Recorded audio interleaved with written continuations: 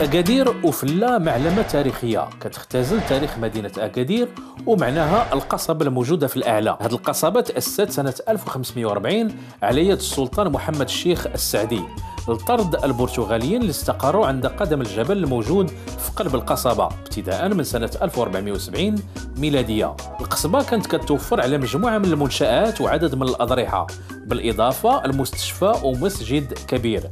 لكن بعد الزلزال اللي ضرب المدينة سنة 1960 تدمرت كل هذه المنشآت وبقى فقط السور الخارجي والباب الرئيسي. 2000 ديال الناس مشات عند الله يرحمهم والداخل هنايا ممنوع للبنايه احترام للناس الميتين لأن خلوا الناس مدفونين تحت الأرض. وهذا الباب هذا هو الأصلي هو اللي ما طاحش في سنه عام 1960 وهذا السور اللي كنشوفوه على اليسار هذا رموه من جديد. القصبة كتموقع في قمة جبل على علو 236 متر فوق سطح البحر. هذا العلو كيخلي الزوار ديالها يشاهدوا منظر إجمالي أو بانورامي لمدينة أكادير خصوصا الشاطئ والميناء.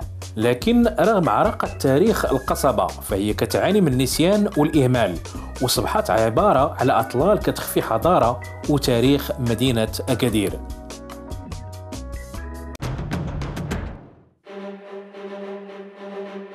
لعبة تيفيناغ كانت من أصعب ألعاب إنيغما التحدي وفيها اختبروا المشاركين قدرتهم على التركيز والتعرف على مختلف حروف تيفيناغ.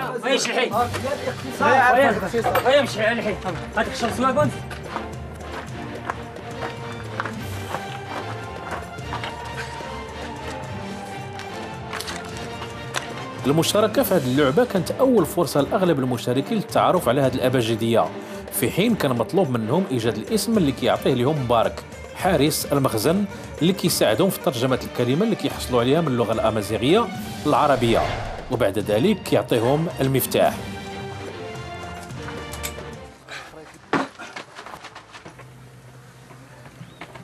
سربي سربي سربي.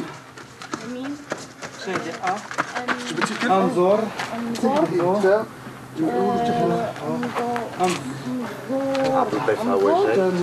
متعة هذه اللعبة كتبان في اكتشاف هذا المكان التاريخي والتعرف على حروف تيفيناغ إلا أن التركيز والسرعة كيبقاو هما الأساس عند المشاركين من أجل الفوز بهذه المرحلة.